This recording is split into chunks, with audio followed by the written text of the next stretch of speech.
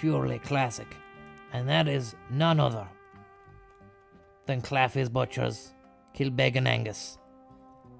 And look at that. It's serious.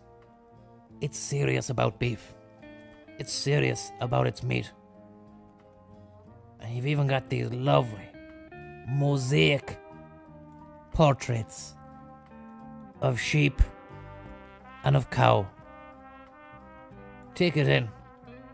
Can you smell the beef? Can you smell the meat? Luciano Claffey. Beautiful stuff. And you can tell it's a butcher that has history. It's a butcher that has character.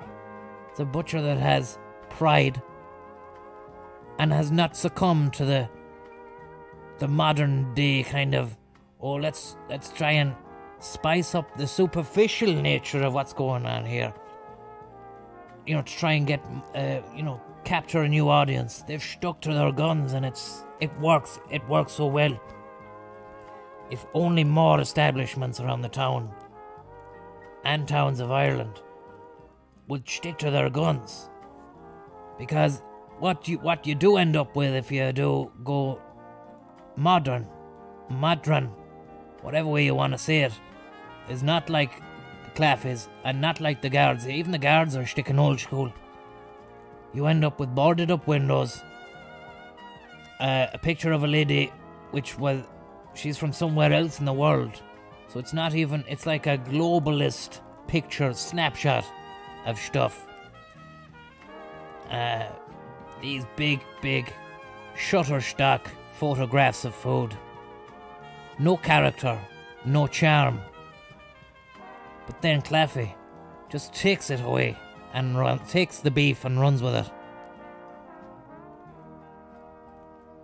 And look at that little bicycle there, tricycle, with the hanging basket of Babylon. Once more for the cow, once more for the sheep. And then we can see inside as well as some condiments, some sauces, steak burgers, 150 each, chicken, stir fry, roast beef, Angus, it's open. Please, please, please, guys, support your local butcher. We need to we need to support our local businesses. The end the big the big boy, the big the big boy manufact big boy retailers, they're always gonna have business. They're always gonna have business. They'll never be short of business. But I mean, more often than not, even if you spend a few cents extra, if you can, you're gonna get a quality product that isn't isn't a mass produced thing. But I mean, you can't argue, you know, with price. That's the thing. It's a shame that the price. You can't argue with it. Like you know, people slagging off the the Lidls and the fucking thing. But I mean, you people are gonna get food where they can get it at the, at the best price.